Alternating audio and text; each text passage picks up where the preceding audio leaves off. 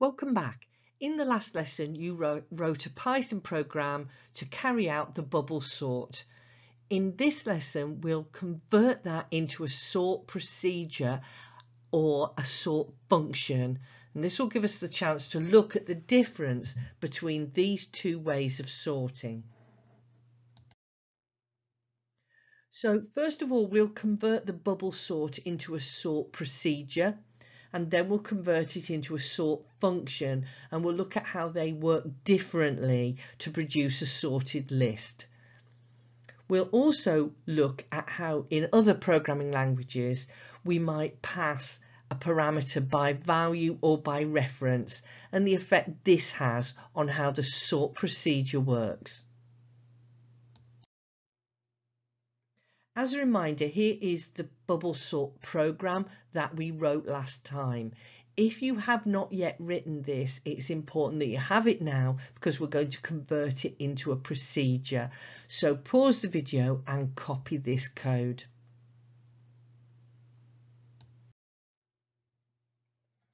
So I'm going to set you a challenge, which is to make the bubble sort program into a bubble sort procedure that sorts, when we call the procedure, it sorts the list.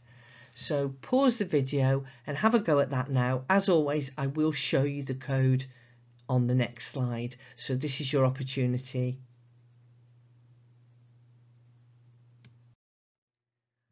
So it's pretty easy to do we just put all the code inside a procedure and I haven't made any other changes. I'm passing the list that I want to sort up to the procedure as a parameter. I've called the parameter my list, could be called anything, and I haven't changed any other parts of the code. So I've just indented it and put it inside a procedure. So make sure that you have made a procedure like this Notice it's a procedure, not a function. And now write the main program that calls the procedure. I'll show you that code on the next page. So pause the video, make sure you've written this procedure and then write a short main program that calls the procedure in order to sort a list. So here's the main program, very brief. I've created a list. That list can be anything you like. It could be a list of random numbers, for instance. So my list is ZDAQ. I print it out. Then I call the bubble procedure and then I print my list again. You will see that the list has changed. However, it was a procedure, not a function. I didn't return the list and yet somehow it has worked to sort my list. What is the explanation for this? You remember that we spoke about passing by value or by reference. If, um, if a parameter is passed by value, the procedure or function gets a copy. If we pass by reference, it can change the original value. In Python, another method is used. Parameters are passed as objects and lists are mutable objects. Unlike integers or strings, lists are mutable objects. That means that the bubble sort procedure is allowed to change the original list. So you're, it's like passing by reference. Running the bubble sort procedure will change the original list. If we don't want to change the original list, we need to create a new list. And in that case, we'd need to use a bubble sort function. So you've just created the bubble sort procedure with a couple of small changes. You can turn that into the bubble sort function. So try doing that. I'll show you the answer on the next slide.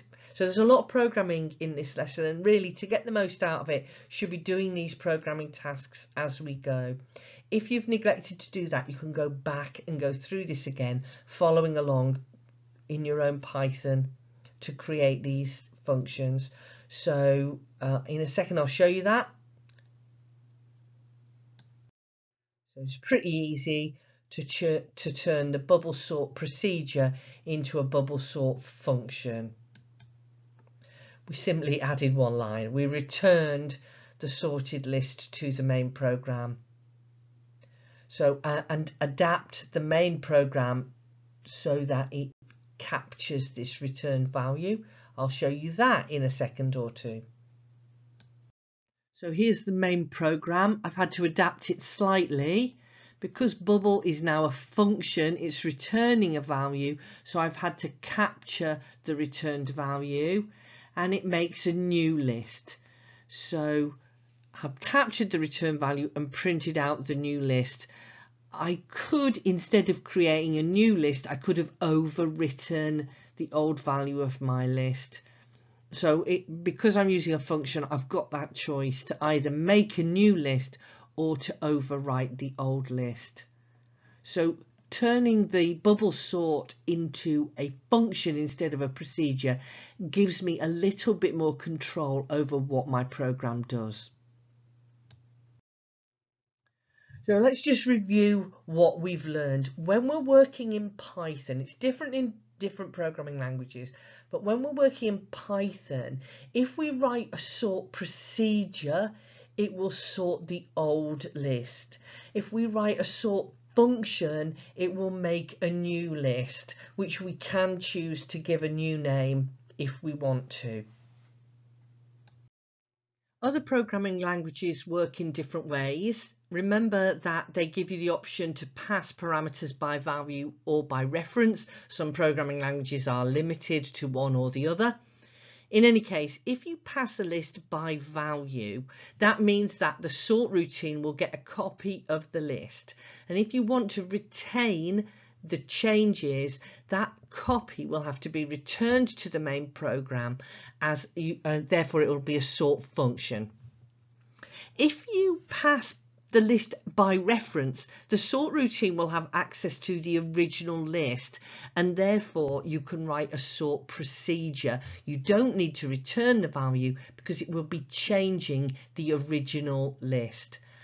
So uh, these, this is just another way of expressing the level of control that I've been describing.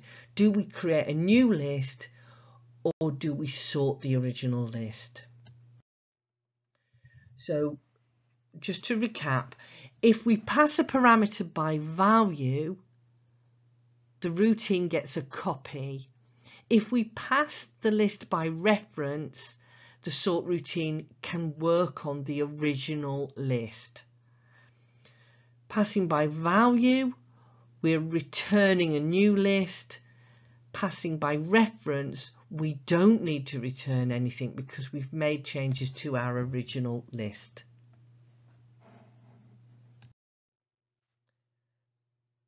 So it it depends which how you do this will really depend on the programming language that you're using. Uh, if your programming language allows you to pass by value, then your sort routine will make a new list. If your programming language requires you to pass by reference, then your programming, then your sort routine will sort the original list.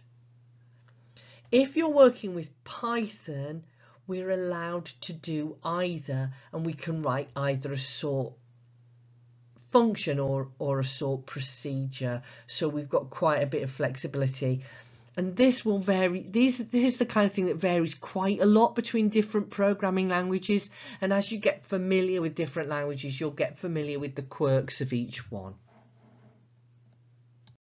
so to recap we know how to do sorts but once we start building procedures or functions, we've got a number of choices to make. Are we going to write a sort procedure? Are we going to write a sort function that makes a new list? Or if we're working with different programming languages, we may have to choose whether to pass our list by value or by reference. So I'll leave you with a task, write a sort procedure or a sort function And if you're my student, I've given you a very long access to a very long list with thousands of items in it, which is called town list. And uh, try sorting that using your procedure or function. So in the next presentation, we'll look a little bit more at how we can write variations of the bubble sort. So more programming to come. Bye for now.